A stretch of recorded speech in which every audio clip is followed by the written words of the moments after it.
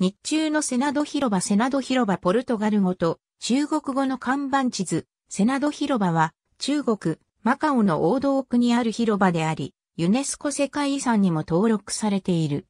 長い三角形の形状で、一端は聖ドミンゴ広場に、反対側は新馬寺に面する。面積は3700平方メートル。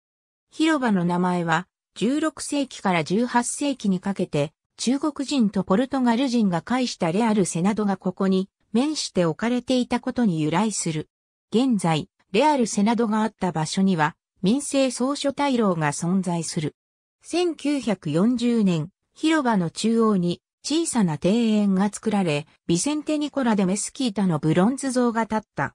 12.3事件の勃発後、巡視した多くの中国兵に配慮し、憎悪は撤去された。今日ではその場所に噴水が作られている。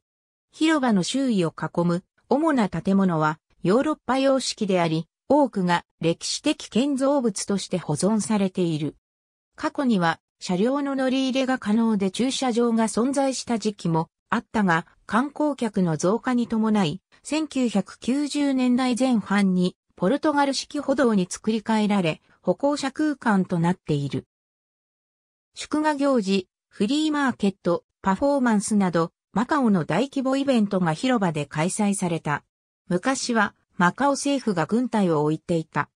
1950年代から1960年代にかけては数多くの香港映画に登場している。